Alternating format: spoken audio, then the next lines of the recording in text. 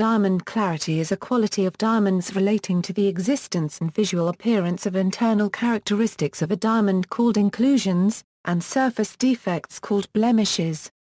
Clarity is one of the four Cs of diamond grading, the others being carat, color, and cut. Inclusions may be crystals of a foreign material or another diamond crystal, or structural imperfections such as tiny cracks that can appear whitish or cloudy. The number, size, color, relative location, orientation, and visibility of inclusions can all affect the relative clarity of a diamond. A clarity grade is assigned based on the overall appearance of the stone under 10 times magnification. Most inclusions present in gem-quality diamonds do not affect the diamond's performance or structural integrity. However, large clouds can affect a diamond's ability to transmit and scatter light. Large cracks close to or breaking the surface may reduce a diamond's resistance to fracture. Diamonds with higher clarity grades are more valued, with the exceedingly rare flawless graded diamond fetching the highest price. Minor inclusions or blemishes are useful, as they can be used as unique identifying marks analogous to fingerprints. In addition, as synthetic diamond technology improves and distinguishing between natural and synthetic diamonds becomes more difficult, inclusions or blemishes can be used as proof of natural origin. Inclusions and blemishes There are several types of inclusions and blemishes, which affect a diamond's clarity to varying degrees. Features resulting from diamond enhancement procedures, such as laser lines, are also considered inclusions or blemishes. Inclusions, clouds, feathers, included crystals or minerals, knots, cavities, cleavage, bearding, internal graining, pinpoint, laser lines, the diamond industry uses the term internal characteristics instead of inclusions. For natural diamonds, the internal characteristics in the diamond are growth crystals that give the diamond its character and unique fingerprint. When diamonds are graded they are magnified at 10x power. Blemishes, Polish lines, grain boundaries, naturals, scratches, nicks, pits, chips, breaks, and dark spots. Clarity Grading, Gemological Institute of America, History, in 1952, Richard T. Liddicoat, along with E. Person, Joe Phillips, Robert Crowningshield and Bert Krashes began to work on a new diamond grading system which they called the Diamond Grading and Evaluation Appraisal. In 1953, they released their new system which assessed three aspects of diamonds. Make, color and clarity. They took terminology used in the industry at the time and refined the definitions to produce a clarity scale by which diamonds could be consistently graded. The system at the time contained nine grades, Flawless, VVS1, VVS2, VS1, VS2, SO1, SI2, I1, and I2. The I of the I1 and I2 grades originally stood for imperfect. During the 1970s two changes were made to the system. Firstly, the internally flawless grade was added, as GIA noticed that many diamonds were being aggressively cut to remove any surface blemishes, and thereby reducing the cutting quality of the diamonds. The internally flawless grade gave diamond manufacturers a choice to leave blemishes on the surface of the stone, and achieve a grade higher than VVS1. The second change made to the grading system, was the introduction of the I3 grade. This change was made in response to a growing number of diamonds of very low clarity being cut. The last change to the clarity grading system took place in the 1990s when the term imperfect was changed to included. The GIA grading system today, the GIA diamond grading scale is divided into six categories and 11 grades. The clarity categories and grades are, flawless category diamonds have no inclusions or blemishes visible under 10x magnification. Internally flawless category diamonds have no inclusions visible under 10x magnification, only small blemishes on the diamond surface. Very, very slightly included category diamonds have minute inclusions that are difficult for a skilled grader to see under 10x magnification. The VVS category is divided into two grades. VVS1 denotes a higher clarity grade than VVS2. Pinpoints and needles set the grade at VVS. very slightly included category diamonds have minor inclusions that are difficult to somewhat easy for a trained grader to see when viewed under 10x magnification. The versus category is divided into two grades. VS1 denotes a higher clarity grade than VS2. Typically the inclusions in versus diamonds are invisible without magnification, however infrequently some VS2 inclusions may still be visible. An example would be on a large emerald-cut diamond which has a small inclusion under the corner of the table. Slightly included category diamonds have noticeable inclusions that are easy to very easy for a trained grader to see when viewed under 10x magnification. The SI category is divided into two grades. SI1 denotes a higher clarity grade than SI2. These may or may not be noticeable to the naked eye. Included category diamonds have obvious inclusions that are clearly visible to a trained grader under 10x magnification. Included diamonds have inclusions that are usually visible without magnification or have inclusions that threaten the durability of the stone. The I category is divided into three grades. I1 denotes a higher clarity grade than I2, which in turn is higher than I3. Inclusions in I1 diamonds often are seen to the unaided eye. I2 inclusions are easily seen, while I3 diamonds have large and extremely easy to see inclusions that typically impact the brilliance of the diamond, as well as having inclusions that are often likely to threaten the structure of the diamond. GIA Clarity Grading Procedure GIA clarity grading is performed under 10x magnification with dark field illumination. The GIA laboratory uses as standard equipment binocular stereo microscopes which are able to zoom to higher magnifications. These microscopes are equipped with dark field illumination, as well as an ultraviolet light filtered overhead light. When grading is performed using a 10x handheld loupe, dark field illumination is more difficult to achieve. The grader must use a light source in such a way that the base of the stone is lit from the side, and the crown of the stone is shielded from the light. After thoroughly cleaning the diamond, the diamond is picked up using tweezers in a girdle to girdle hold. The grader views the diamond for the first time through the table, studying the culet area of the stone for inclusions. The diamond is then set down, and picked up with the tweezers in a table to culet hold.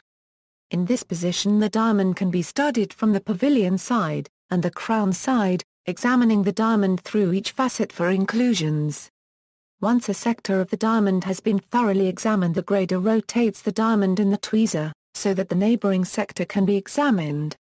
The grader uses dark field lighting to reveal characteristics, and alternates to reflected, overhead lighting to ascertain whether a characteristic lies within the stone, on the stone's surface, or both. If the grader is using a stereo microscope, they may zoom into a higher magnification to make closer observations of an inclusion, but then return to 10x magnification to make an assessment of its impact on the clarity grade. If a stereo binocular microscope has been used, a final assessment using a 10x loupe is performed before the final judgment is made on the clarity of the stone. The grader first decides the clarity category of the diamond, none, minute, minor, noticeable, or obvious. The decision is then made on the grade of the diamond. Grading systems by other organizations, the Clarity grading system developed by the GIA has been used throughout the industry as well as by other diamond grading agencies including the American Gemological Society, and the International Gemological Institute. There are other smaller labs which use the GIA system as well. These grading agencies base their clarity grades on the characteristics of inclusions visible to a trained professional when a diamond is viewed from above under 10x magnification. Confar copyright DAO copyright Ration International de la Bijouterie, Jewelry, or Orfèvrerie des Diamants, Pearls APS, the CIBJO or the International Confederation of Jewelry, Silverware, Diamonds and Stones developed the International Clarity Scale for grading diamonds. This clarity scale mirrors the GIA grading scale, except nomenclature varies. The CIBJO system names these clarity grades. Loupe clean, very, very small inclusions, very small inclusions, small inclusions, piqué. Clarity grading by CIBJO standards is by examination using a 10x achromatic, aplanatic loupe and normal light.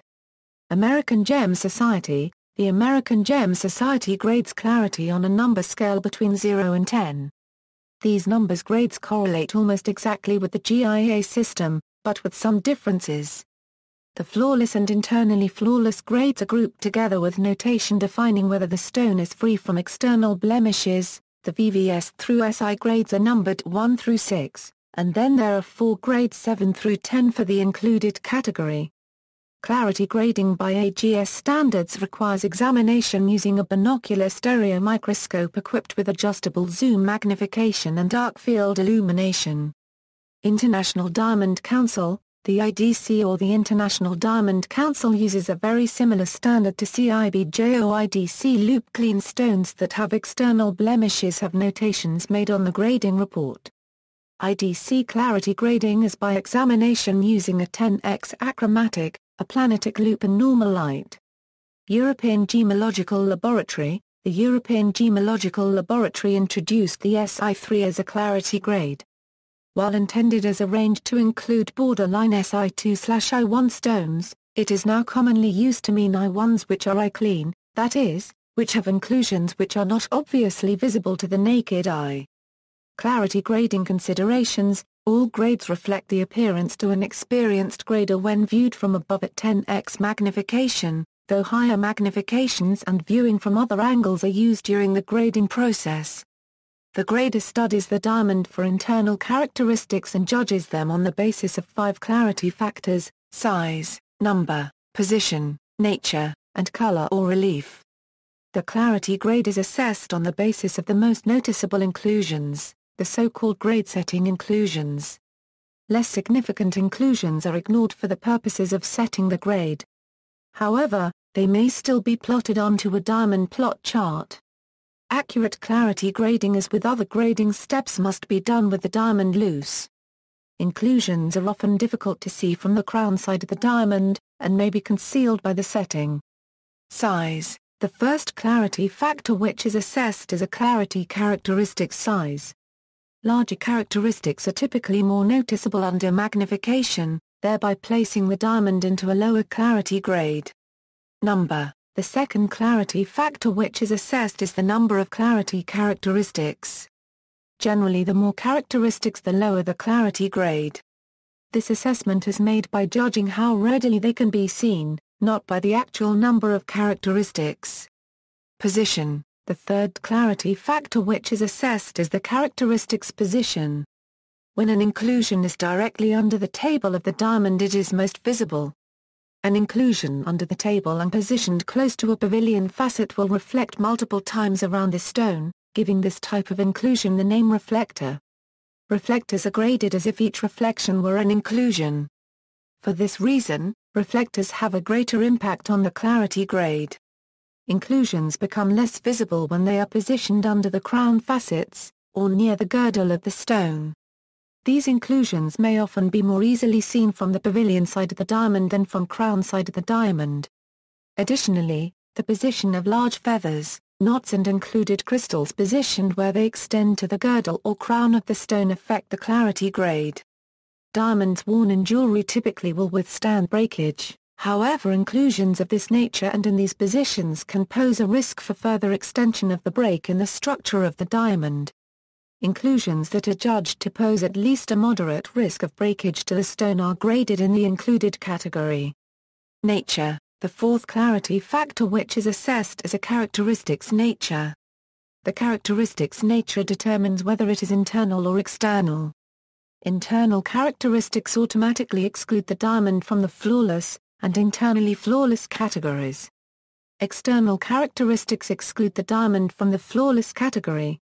An internal characteristic of a diamond may be classified as a, N, bruise, cavity, chip, cleavage, cloud, crystal, feather, grain center, indented natural, internal graining, knot, laser drill hole, needle, pinpoint, or twinning wisp. An external characteristic of a diamond may be classified as a, N, abrasion, natural, nick, pit, polish lines, polish mark, scratch, surface graining, or extra facet. the nature will also determine whether an inclusion poses a risk to the stone. An inclusion that may cause a break in the crystal structure may, depending on its position, pose a moderate level of risk for further breakage. Color or relief The fifth clarity factor which is assessed is the color and relief of clarity characteristics. Characteristics that contrast with the surrounding diamond are said to have relief. The degree to which this color and relief is noticeable affects the clarity grade of the diamond. Colored inclusions invariably show contrast and are more easily seen. An exception is a black pinpoint inclusion which is often more difficult to see than a white pinpoint. Rarity and value Diamonds become increasingly rare when considering higher clarity gradings. Only about 20% of all diamonds mined have a clarity rating high enough for the diamond to be considered appropriate for use as a gemstone. The other 80% are relegated to industrial use. Of that top 20%, a significant portion contains an inclusion or inclusions that are visible to the naked eye upon close inspection. Those that do not have a visible inclusion when the gem is examined approximately 6 inches from the naked eye are known as eye clean, although visible inclusions can sometimes be hidden under the setting in a piece of jewelry. The most expensive gem diamonds fall within the Versus and SI grades with FL, IF, and even VVS stones commanding significant premiums. FL and IF stones are sometimes referred to as museum quality, or investment grade to denote their rarity although the term investment grade is misleading as diamonds have historically been illiquid and questionable stores of value. As many diamond purchases are infrequent, for example an engagement ring, there is a level of concern by end consumers having to pay large premiums for clarity grade differences that are important to the certificate or diamond industry but not to the buying public who cannot discern the difference with the naked eye. Clarity enhancement Laser drilling involves using a laser to burn a hole to a colored inclusion, followed by acid washing to remove the coloring agent. The clarity grade is the grade after the treatment. The treatment is considered permanent. GIA, as a matter of policy, does not grade clarity-enhanced diamonds but it will grade laser-drilled diamonds since it considers the enhancement to be permanent in nature. If you see a GIA diamond report with the words clarity enhanced, or fracture-filled, it is surely a counterfeit report. Clarity can also be enhanced by filling the fracture much like a car windshield crack can be treated. Such diamonds are sometimes called fracture-filled diamonds. Reputable vendors must disclose this filling and reputable filling companies use filling agents which show a flash of color, commonly orange or pink, when viewed closely.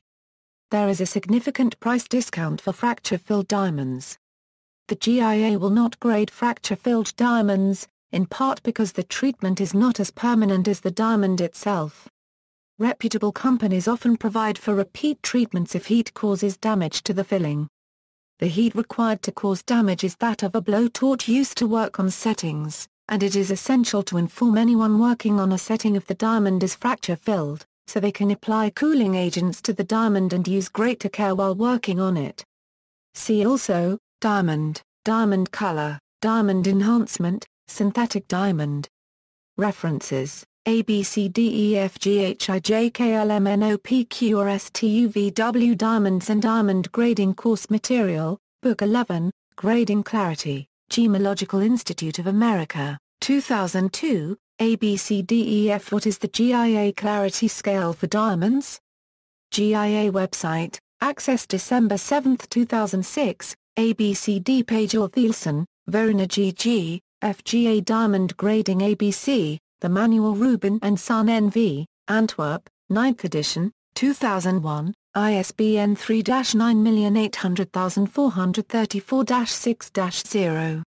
AB Diamond Grading, Lab Manual Gemological Institute of America, Carlsbad, 2004, Diamond Reports and Services. GIA.edu retrieved July 11, 2013 A, AB The AGS Way, Diamond Grading Standards American Gem Society, 1999, EGL USA Clarity Scaler, Tashey Thomas EJR, Roskin Gary A European Gemological Laboratory defines SI3 Cornerstone, Summer 1992 A Euro A publication for Accredited Gemologist Association, accessed online February 18, 2007, EGL India Clarity Scala, Zultanite a Euro a relatively new, extremely rare gemstone popular in jewelry design. GIA.org. GIA. Retrieved November 17, 2012 a, Epstein, Edward J. Have you ever tried to sell a diamond? The Atlantic, February 1982. Atlantic Magazine. Retrieved November 22, 2012 a.